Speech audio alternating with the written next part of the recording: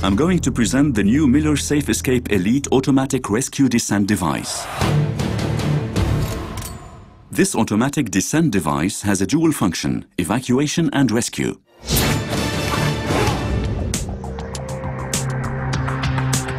When used for an evacuation, all you need to do is to hook up the Miller Safe Escape Elite device to an anchorage point that has been prepared in advance or to an anchorage point that already exists on the structure.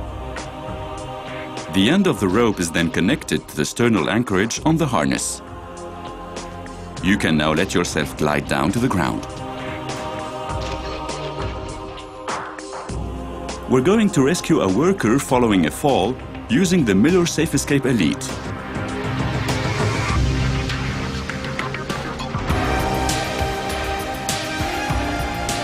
The victim is unable to climb up or down. He's hanging from his harness.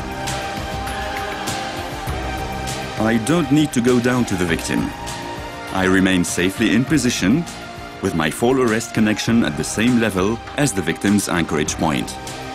To install the Miller Safe Escape Elite device, I simply secure it to an anchorage point. Once the device is hooked up to the anchorage point, you connect the end of the rope to the victim's harness or to his fall arrest connection if you're unable to reach him. Then you put the slack end of the rope into the pigtail and into the cam cleats situated at the back of the device.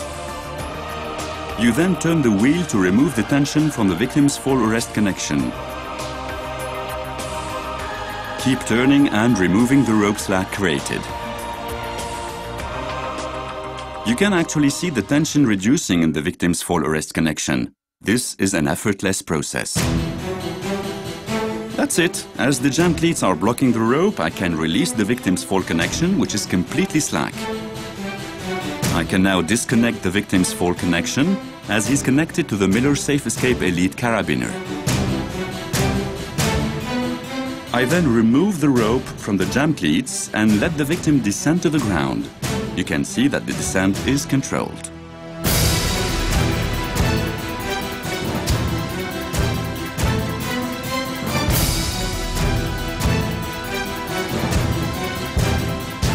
If there's any need to stop the victim's descent, all you need to do is press the slack end of the rope.